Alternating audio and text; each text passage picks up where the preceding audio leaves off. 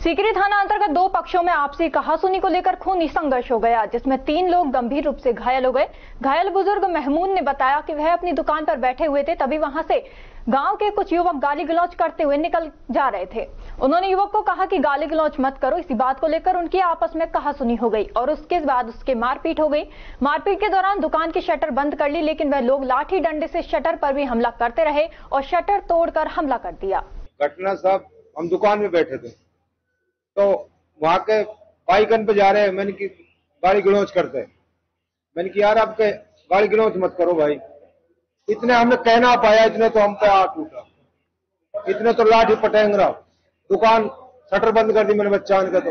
मैं अंदर गए बढ़ गया। कोई बात ना फिर भी नहीं माना है। फिर शटर तोड़ दी लाठी इनसे कितने लोग थे हमला करने वाले? कम से कम पचास। मेन मेन नाम क्या उनके?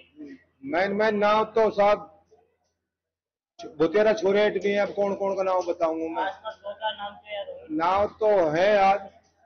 एक शकील है नाम एक इंसाफ है। मान ले तैरम है।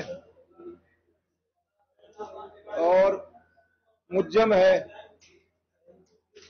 बुतेरा कौन कौन का नाम बताऊँ काफ़ी पचास? कितने लोग हुए? हमारा आठ आठ आदमी भाई। क्या क्या नाम है उनके? मान ले नाम है महमूद नजीर रशीद समीना और नाम है अकरम इब्रो।